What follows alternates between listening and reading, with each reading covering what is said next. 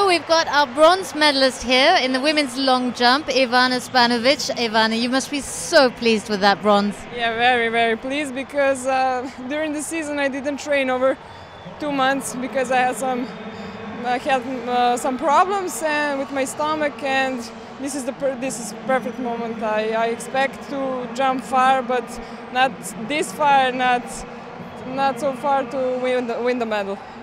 You're the champion, world junior champion. How have you made this? How have you found the transition coming from junior to senior and to come out and to medal? Yeah, that not, that was not easy. I win the junior world champion in 2007, and I start with the, this medal, and I hope in few years I will uh, win the world championship.